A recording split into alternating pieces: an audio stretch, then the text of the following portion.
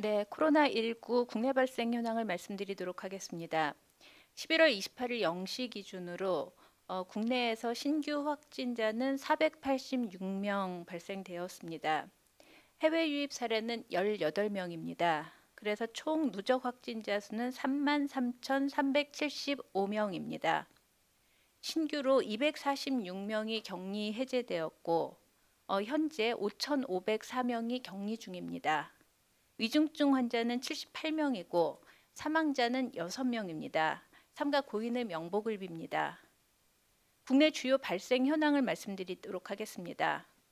서울 어플 소모임과 관련해서 11월 25일에 첫 확진자가 발생했습니다. 이 이후 접촉자 조사 중에서 21명이 추가 확진되어 어, 현재까지 누적 확진자는 총 22명입니다. 서울의 강서구 댄스 교습과 관련해서 접촉자 조사 중에 26명이 추가되었습니다. 총 누적 확진자는 155명입니다. 서울 중구의 상조 회사와 관련해서 접촉자 조사 중 2명이 추가되었습니다. 그리고 서울 중랑구의 체육시설과 관련해서 접촉자 조사 중에 5명이 추가되어 현재까지 누적 확진자는 총 18명입니다. 서울 송파구 사우나와 관련해서 접촉자 조사 중에 5명이 추가되었습니다. 누적 확진자는 총 14명입니다. 서울 서초구 사우나와 관련해서 5명이 추가되어 누적 확진자는 총 63명이 되었습니다. 서울 마포구 소재 교회와 관련해서 11명이 추가 확진되었습니다. 현재까지 누적 확진자는 총 135명이 되었습니다. 경기 화성시의 지인 모임과 관련해서 14명이 추가 확진되어 누적 확진자는 총 15명입니다. 경기도 연천의 군부대와 관련해서 조사 중 한 명이 추가 확진되었습니다. 그래서 현재까지 누적 확진자는 총 71명입니다. 인천 남동구 동창 모임과 관련해서 10명이 추가 확진되어 어, 현재까지의 누적 확진자는 총 11명입니다. 그리고 강원도 홍천군의 공공근로와 관련해서 11월 26일에 첫 확진자가 발생하였는데 그 이후 접촉자 조사 중에 11명이 추가되었습니다. 그래서 현재까지 누적 총 12명이 확진되었습니다. 다음으로 충북 제천시 김장 모임과 관련해서 어, 11월 25일에 첫 확진자가 발생했고요. 어, 조사 중에 11명이 추가 확진되었습니다. 그래서 현재까지 누적 확진자는 총 25명으로 집계되었습니다. 충북 청주시 당구장 선후배 모임과 관련해서 누적 확진자는 총 22명이 되었고요. 어, 전북 익산시의 대학병원과 관련해서 어, 7명이 추가 확진되어 현재까지 누적 46명이 확진되었습니다. 부산, 울산 장구 강습과 관련해서 두 명이 추가되어 누적 확진자는 총 91명이 되었습니다. 그리고 경남 창원시의 단란주점과 관련해서 두 명이 추가 확진되었습니다. 다음으로는 최근 주요 집단 감염 사례를 소개하고 주의 사항을 말씀드리고자 합니다. 최근에 어, 서울 강서구의 댄스 교습 관련해서 수강생 등 155명이 확진된 사례가 있었고 서울 서초구의 사우나와 관련해서 이용자 등 76명이 확진된 사례가 있었습니다. 또한 충남 공주시 요양병원과 관련해서 종사자 등 25명이 확진된 사례가 있었습니다. 위 사례들을 보면 의료기관의 종사자가 의료기관 외부에서 감염된 것이 어, 다시 의료기관 내부의 집단 감염으로 이어지고 또 사우나 같은 다중 이용 시설에서 발생한 집단 감염이 다른 다중 이용 시설 또는 직장으로 추가 전파된 것으로 그렇게 추정을 하고 있습니다. 충남 공주시 요양병원 사례의 경우 어, 감염 취약 시설 선제적 검, 전수 검사가 실시된 기관입니다. 그런데 그 전수 검사 당시에는 음성이었던 직원이 그 이후에 지인 모임을 통해서 코로나19에 감염되었고 이로 인해서 요양병원 내의 다른 종사자 그리고 입원 환자들에게 추가적으로 전파가 된 사안입니다. 이에 따라서 사회복지시설이나 의료기관의 종사자들은 퇴근 후 또는 휴일에 사적인 대면 모임 참석을 자제해, 주실 것을 어, 요청을 드리겠습니다. 또한 유흥업소 등과 같은 고위험 시설 출입도 피하시고 실내 활동이나 또는 위험도가 높은 실외 활동 시에는 마스크를 착용하시고 거리두기를 반드시 준수해 줄 것을 당부드리겠습니다. 또한 시설 관리자는 모든 종사자 등 출입자에 대한 의심 증상 감시를 강화해서 이런 증상이 발생하면 즉시 업무에서 배제하고 신속히 검사를 받을 수 있도록 하여 주시고 외부인 면회나 기관 내에서 불필요한 행사, 모임 일체를 제한할 것을 거듭 당부드립니다. 다음으로 서울 서초구 소재 사우나 관련 집단 감염 사례의 경우 11월 10일에 지표 환자가 확진이 되었습니다. 이에 따라서 추적 조사를 실시한 결과 그 사우나의 이용자 그리고 종사자 간의 전파가 발생해서 약 20명 정도 어, 이상 확진이 되었고 그리고 이 사우나 이용자가 방문했던 휘트니스에서 추가 전파가 발생해서 한 30명 규모의 그 대규모 감염이 있었습니다. 그리고 또한 휘트니스 이용자가 근무하는 직장을 통한 산발적인 추가 전파 사례가 그 이후에 계속 이어졌습니다. 위 사례 외에도 목욕탕 사우나 관련 집단 감염 사례가 계속 발생하고 있어서 이용자와 사업주들이 목욕장업 관련 방역 수칙을 철저히 준수하셔야 하고 탈의실 등 공용 공간에서는 반드시 마스크를 착용하고 대화와 음식 섭취를 자제할 수 있도록 어, 유의하여 주시기 바랍니다.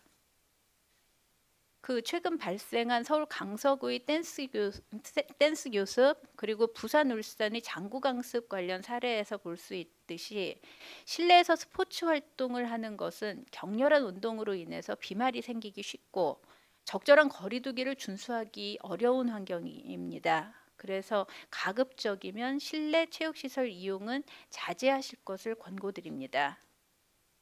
다음으로 요양병원 등 감염 취약 시설에 대한 선제적 전수 검사의 중간 결과를 말씀드리겠습니다. 현재까지 그 일제 검사를 통해서 서울, 경기, 부산 등 8개의 감염 취약 시설에서 확진자 총 100명이 확인되었습니다. 그리고 추가적으로 현재 주기적인 그 추가 검사가 진행 중에 있는데 서울에 소재한 한 개의 시설에서 확진자 한 명이 확인돼서 역학조사 등 방역 조치를 실시 중에 있습니다. 어, 다음 주는 수능이 시행되는 주입니다. 전국적으로 49만 명의 수능 수험생이 코로나19로 인해서 어, 응시 기회를 잃는 학생이 없이 안전하게 시험을 치를 수 있도록 어, 현재 수능 특별 방역 기간이 운영 중에 있습니다. 이 기간 동안 거리두기 등 방역 수칙을 철저히 지, 지킬 것을 요청을 드립니다. 특히 그 현재 확산 중인 코로나19 감염이 가족이나 지인 간의 감염이 다수를 차지하고 있어서 가정 내에서도 거리두기를 실천하는 것이 그 가족 내에서의 감염 가능성을 어, 줄이는 데 도움이 된다는 말씀을 드리고 수험생은 수능 전날까지 다중이용 시설, 학원 교습소 등의 이용은 자제하시고 원격 수업을 활용하면서 수능 시험을 준비하는 것이 감염 기회를 최소화시키는 방법입니다. 아울러서 마스크 착용, 손 씻기, 실내 환기, 소독 등 일상에서의 방역 수칙 준수도 충실히 실천해 주실 것을 당부드리겠습니다. 그 현재 코로나 확산세가 여전히 꺾이지 않는 모습을 보여주고 있습니다. 지난 24일 수도권 2단계 거리두기 상향 조치 이후에도 확진자 수가 11월 26일에 552명 그리고 그 다음 날 525명 어, 이틀 연속 500명대가 나왔습니다. 그리고 오늘도 486명이 발생했습니다. 거리두기는 그간의 여러 가지 경험에서 볼 수 있듯이 확실한 효과를 발휘하는 강력한 사회적 조치이지만 그만큼 여러 가지 이제 사회적인 고려점이 또 많은 상황입니다. 효과가 본격적으로 나타나기 전까지는 당분간 지금 수준의 발생 규모가 이어지겠지만 모임 자제가 잘 이행되어 어, 확진자 증가세가 완화될 수 있도록 어, 방역 당국에서 여러 가지 노력을 기울이고 어, 있습니다. 그리고 지금 한 분 한 분 국민들께서도 이동량을 줄여주고 계시고 모임의 자제 그리고 마스크 착용에 적극적으로 협조해주고 계십니다. 일상 감염이 특징인 지금의 유행은 곳곳의 다양한 감염 경로를 차단하는 것이 가장 중요합니다. 이는 국민 여러분께서 지금의 위기의식을 공감하고 자발적으로 위험 행동을 하나하나 줄여, 줄여주셔야만 반전이 가능한 상황입니다. 지금은 잠시 일상을 멈추고 가족과 이웃의 안전 그리고 수능 수험생들이 안심을 위해서 방역에 집중해야 하는 어, 중대한 기로에 있고 또 한 번의 연대로 지금의 위기도 극복할 것으로 어, 믿고 있습니다. 현재 감염의 규모가 크고 빠르고 커지면서 고령자나 기저질환자 등 감염 취약계층에 대한 보호가 한층 중요해지고 있습니다. 요양병원이나 요양시설 등에서의 집단 감염에 대비해서 종사자에 대한 선제 검사를 통해서 감염 감염원을 조기에 발견하고 전파 차단에 역량을 집중하고 있습니다. 고위험군 보호에 동참하고 계신 해당 시설의 종사자 여러분께 깊은 감사를 드립니다. 하지만 이것만으로는 부족합니다. 취약계층을 돌보고 있는 의료진, 간병인 등 직원들께서는 일과 시간 중에 손위생, 마스크, 발열 체크, 환기 소독 등 방역 수칙을 철저히 준수하시고 그뿐만 아니라 일과 시간 이후에도 모임은 최대한 자제하시고 위험도 높은 시설에 출입하지 않아야지만 감염 위험으로부터 고령자와 기저질환자 등을 보호할 수 있습니다. 어려움이 있겠지만 취약계층의 안전을 위해서 감염 확산세가 진정될 때까지 더 각별한 경계를 부탁드리겠습니다. 현재 유행을 조기 억제하기 위해 국민들께 반복해서 세 가지를 당부드립니다. 반복에 반복을 할 만큼 상황이 위중하고 또 국민 한 사람 한 사람의 참여만이 현 위기를 꺾을 수가 있습니다. 첫째, 연말까지 가급적 모든 모임과 약속을 취소해 주시기 바랍니다. 특히 식사와 회식은 감염 전파 위험이 높아서 자제하시는 것이 바람직합니다. 주말을 맞아서 종교 행사, 약속 모임 등이 있는 경우 비대면으로 전환하시거나 취소해 줄 것을 당부드립니다. 둘째, 밀폐된 다중이용 시설의 출입을 삼가해 주시기 바랍니다. 비말이 많이 발생하면서 환기가 어렵고 마스크를 쓸 수 없는 사우나, 실내 체육 시설, 예체능 학원, 밀폐된 모임 공간은 가급적 방문하지 말아 주시기를 다시 한번 당부드리겠습니다. 셋째, 열, 기침 등 호흡기 증상이 있는 경우 출근 등교를 하지 말고 가까운 선별 진료소에서 신속히 검사를 받아주시기를 당부드립니다. 대학가 등 젊은 층도 호흡기 증상 시에 코로나19를 먼저 의심하시고 적극적으로 검사를 받아주시기 바랍니다. 방역 당국도 현재의 위기를 극복하기 위해서 이번 주말에도 총력 대응하도록 하겠습니다. 수능이 며칠 남지 않았습니다.